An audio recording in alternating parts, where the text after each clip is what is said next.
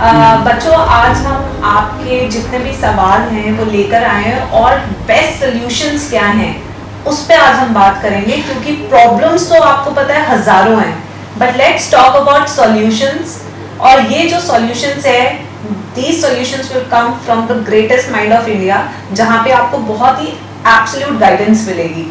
तो हम स्टार्ट करते हैं आज का ये सेशन बिल्कुल मैम। बहुत सारा कंफ्यूजन है, बहुत सारे र्यूमर्स चल रही हैं मीडिया में अलग अलग तरीके की बातें चल रही हैं, बहुत सारे एडटेक चैनल्स हैं, वो भी अपना अपना व्यू रख रहे हैं, अपनी तरीके से बातों को रिप्रेजेंट कर रहे हैं।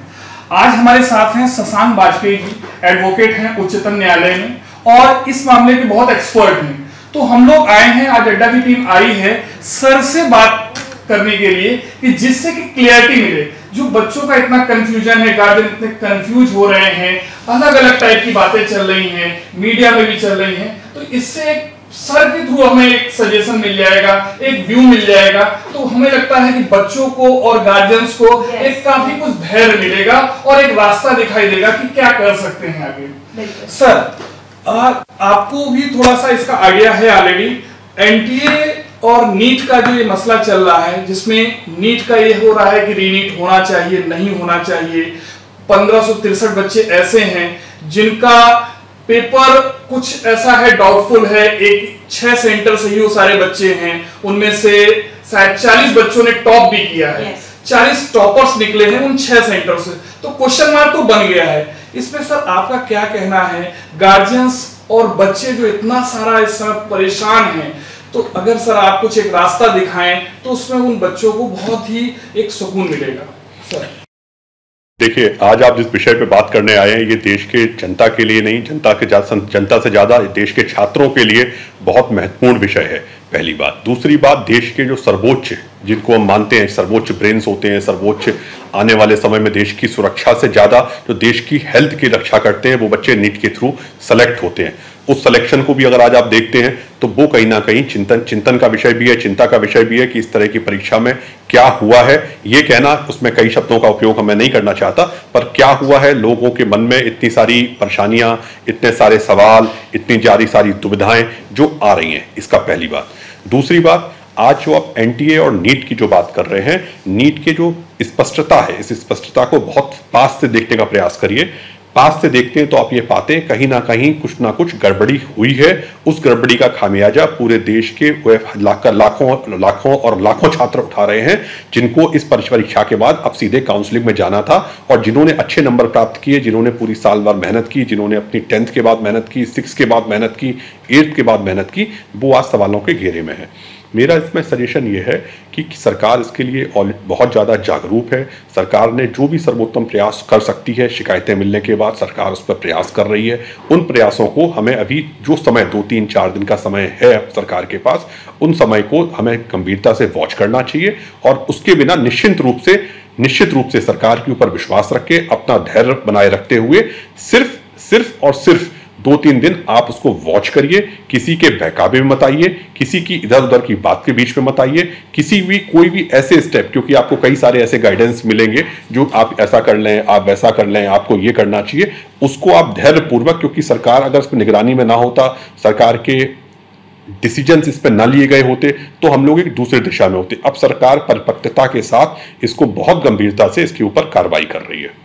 जी सर। सर एक क्वेश्चन हम लोग का और है कि बच्चे ये सोच रहे हैं कि मल्टीपल पीआईएल आ चुकी है। दिल्ली हाई कोर्ट में भी है पटना हाई कोर्ट में भी है कैलकाटा हाई कोर्ट में भी है और सुप्रीम कोर्ट में पीआईएल है। तो क्या मल्टीपल पीआईएल आने से कुछ डिसीज़न पेंडेंसी होगी? कुछ ऐसा होगा? या डिसीज़न किसी एक पीआईएल का अगर आता है तो वो और, औरों के लिए ऑलरेडी बेंचमार्क बन जाएगा, वहाँ से एक प्रॉपर सोल्यूशन मिल जाएगा। यहाँ पर हम लोग पीआईएल की बात कर रहे हैं और पीआईएल के लिए अब क्या क्या हो सकता है, कैसे हो सकता है और क्या क्या अपेक्षाएँ और आशाएँ हैं। इन, इसको देखने के लिए जो विधिक आस्पेक्ट है, इस बात को हमें समझना पड़ेगा। पहली बात, जब इस समय उच्चतम न्यायालय, उच्च न्यायालय, दोनों जगह गर्मियों की छुट्टी चल रही है वेकेशंस चल रही हैं। वेकेशंस बेंच बैठी हुई हैं दोनों जगह। वेकेशंस बेंच पे जिसने पीआईएल फ़ाइल की है, वो अभी पेंडिंग है।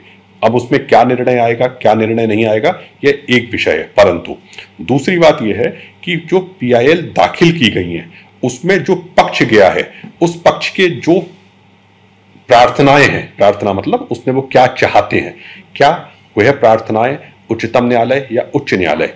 सुनवाई के योग्य हैं, अगर है या नहीं है, पहली बात, हम सुप्रीम कोर्ट से स्टार्ट करते हैं। उच्चतम न्यायालय अगर किसी भी बिंदु को डिसाइड कर देता है तो निश्चित रूप से वो सारे हाई कोर्ट के, सारे मैटरों को स्टे हो जाएगा, सारे हाई कोर्टों को सुनने का उसको कोई अधिकार नहीं रहेगा।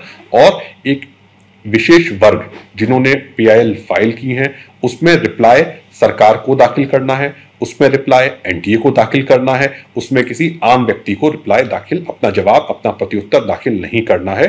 तो निश्चित रूप से जो सरकार ने कुछ दिनों के बीच में इस पर गंभीरता से अपने कदम उठाए हैं, उन कदमों के वही जवाब उसके सामने होंगे। निर्णय, निर्णायक और आने वाली परिस्थिति को संभालना सरकार की महत्वपूर्ण बिंदुओं की ज़िम्मेदारी में एक है, उस जिम्मेदारियों को वो गहनता से निभाएगी।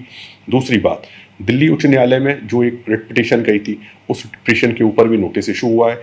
नोटिस इशू होने के बाद उसमें जो जवाब उनसे एनटीए से उनके जवाब, उनके उत्तर की कॉपी मंगाई गई है, उसको दिल्ली हाई कोर्ट एग्जामिन करेगा और दिल्ली हाई कोर्ट देखेगा। अब आगे की उसमें उत्तर क्या होंगे, क्या उसमें निर्णय आएगा, ये एक अभी क्योंकि मामला उनके सामने अधीन है उच्च उच्च न्यायालय के तो हमें उसके व्यक्ति में बहुत ज़्यादा अभी हम लोगों को नहीं जाना चाहिए। परंतु जो प्रार्थनाएँ हैं उसके अंदर, जो उनकी प्रेयर्स हैं, वो प्रेयर्स में कितनी कंसिडर होंगी, ये हाई कोर्ट एग्जामिन करेगा।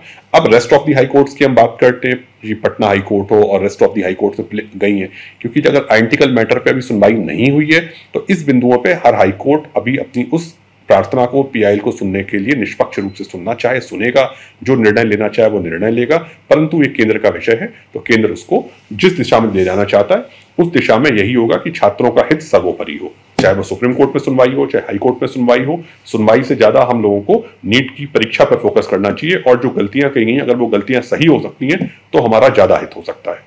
जी, इसका मतलब हम लोग दो तरीके की बात कर सकते हैं कि री नीट होने की भी संभावना है और दूसरा ये भी है कि जो पंद्रह बच्चे हैं जिन पे क्वेश्चन मार्क बना है, उन बच्चों का एग्ज़ाम दोबारा कराया जा सकता है? केवल उनका कराया जा सकता है या फिर पूरे चौबीस लाख बच्चों का कराया जा सकता है? देखिए रीनीट के ऊपर बार बार यही यही बात आ रही है कि रीनीट कराना चाहिए कि उन जो पर्टिकुलर बच्चे हैं। सबसे बड़ी बात है, अगर हम धांधली को अपना पकड़ लेते हैं हम उन लोगों को जिन्होंने गड़बड़ी की है, पकड़ लेते हैं और उसका प्रभाव कहाँ तक गया है? इन तीनों चीज़ों को एग्जामिन कर लेते हैं। उसके बाद डिसीज़न लेना ज़्यादा अच्छा होगा। अगर मान लीजिए इसका इम्पैक्ट ज़्यादा लोगों के ऊपर हुआ है तो निश्चित रूप से रीनीट एक बेटर ऑप्शन होगा। अगर उसका इम्पैक्ट कम लोगों के ऊपर हुआ है और वो क्योरेबल नेचर का है और उसके बाद उसको कवर किया जा सकता है तो निश्चित रूप से चौबीस लाख बच्चों का हित और भविष्य को देखते हुए रीनीट कराना बहुत अच्छी फिर बात नहीं मानी जाएगी। पर हम आरोपों, प्रत्यारोपों पर आशंकाओं के ऊपर इसको बात ना करें। सर एक चीज़ ये है कि काउंसलिंग काफ़ी स्टेट्स में शुरू हो गई है और कुछ में स्टे भी लग गया है। तो जब तक हमारा फैसला नहीं आ जाता तो फिर क्या काउंसलिंग स्टार्ट हो जाएगी? क्योंकि within fifteen days all India counselling शुरू हो जाती है एमसीसी की तरफ़ से। देखिए काउंसलिंग की जो बात है ये भी मैंने आपको दोबारा ये बात कहना चाहता हूँ।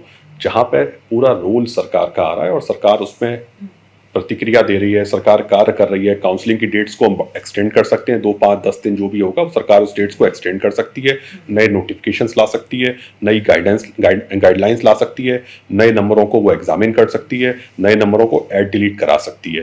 तो सरकार जब उसमें फेयर डिसीज़न ले रही है इफ़ेक्टिव डिसीज़न ले रही है क्योरेबल डिसीज़न ले रही है तो इस टाइम देश के अंदर इस विषय के ऊपर पैनिक होने की, घबराने की आवश्यकता नहीं है। जो आपका सवाल है वो बहुत जायज़ है।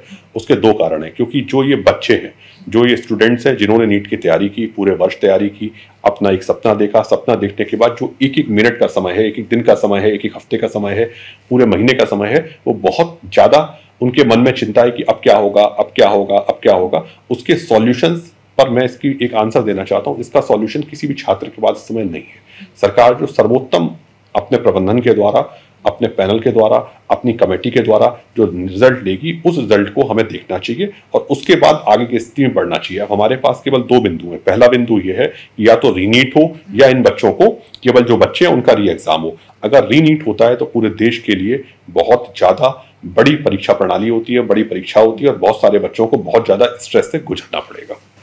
इसकी प्रोबेबिलिटी क्या होगी सर कि रीनीट हो या फिर रिजल्ट्स जो है मैम मैं बार इसको फिर एक बार कहिए कि आप भी सब लोग यही प्रार्थना करनी चाहिए। रीड नीट ना हो चारी जो डिफिकल्टीज थी वो खत्म हो जाएँ, लोगों के मन में जो चिंताएँ हैं वो कम हो जाएँ और जो एक 1400 1500 बच्चों की जो प्रॉब्लम्स आई हैं उनको रिजॉल्व किया जाए और किस तरह से रिजॉल्व हो सकता है, वो सब जो कमेटी बनाई गई है, उस कमेटी की रिपोर्ट के बाद ही डिसीज़न हो सकते हैं। सर, जो ने एक सर्कुलर यूज़ किया दो हज़ार अठारह के सुप्रीम कोर्ट के जजमेंट का कि वहाँ पे वो एडमिशन टू क्लैट एग्ज़ाम के लिए था और उसमें लिखा था कि exams other than engineering and medical but उसके टाइम लॉस का फॉर्मूला वो ऑनलाइन एग्ज़ाम का टाइम लॉस टाइम लॉस का फॉर्मूला भी ऑफलाइन एग्ज़ाम में लिया गया। तो ये चीज़ कहाँ जो बच्चों को ग्रेस मार्क्स मिले हैं बेसिकली बहुत सारे बच्चों को ग्रेस मार्क्स मिले हैं जो कि माइनस ट्वेंटी से लेकर टू हंड्रेड मार्क्स तक दिए गए हैं।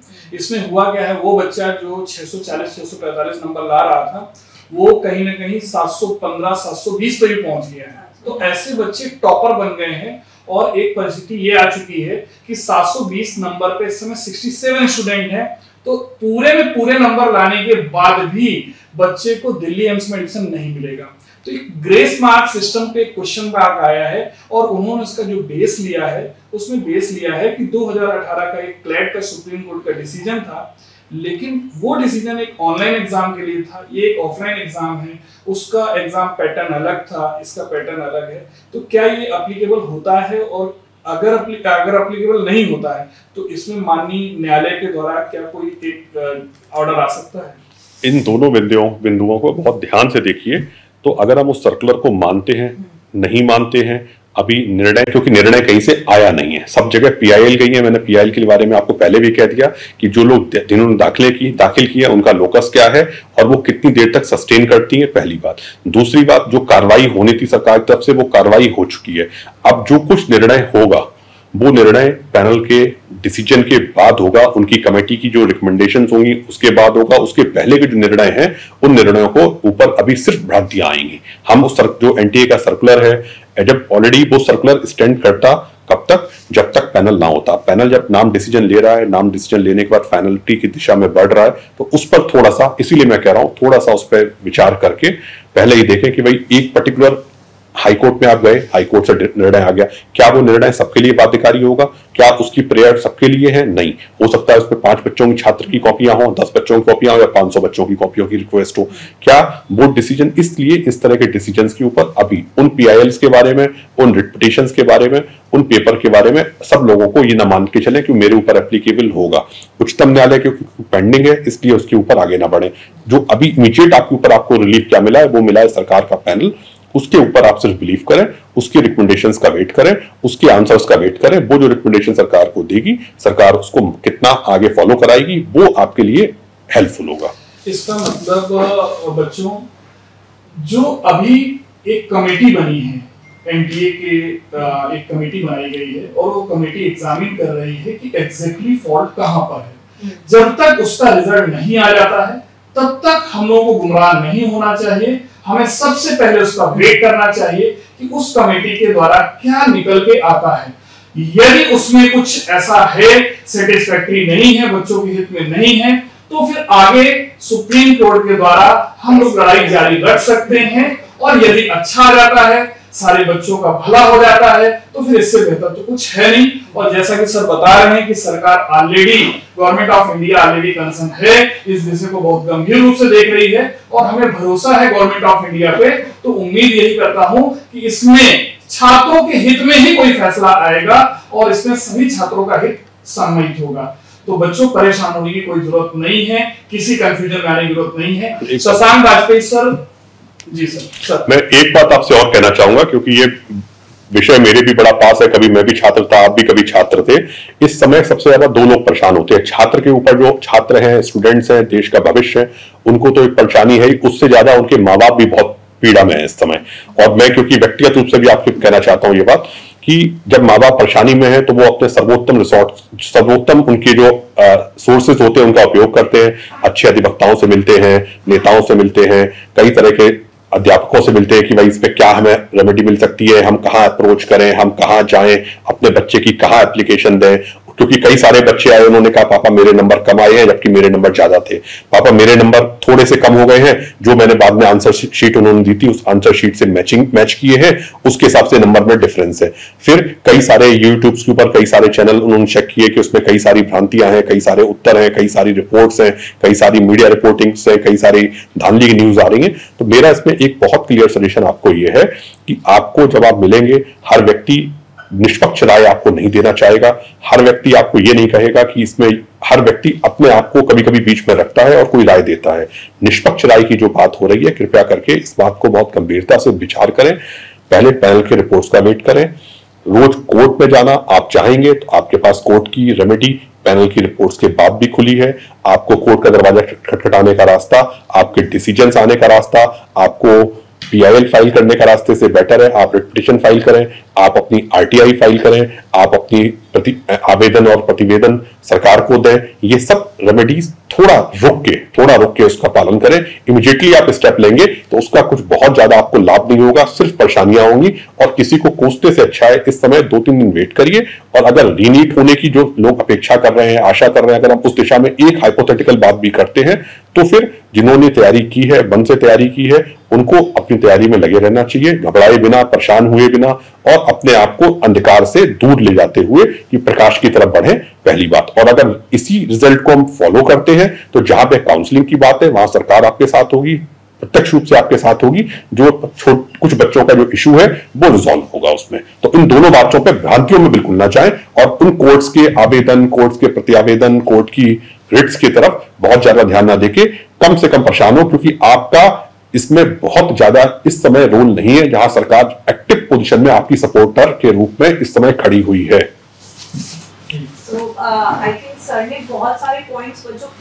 हैं तो सबसे पहले ना पूरा समअप कर दे सेशन को। पहली चीज़, किसी भी स्टूडेंट को पैनिक नहीं होना है, क्योंकि the government of India is with you ठीक है? सेकंड थिंग जितने भी जो स्टेप्स हम ले रहे हैं, बहुत सारी पीआईएल्स हर जगह गई है, सब कुछ हो रहा है।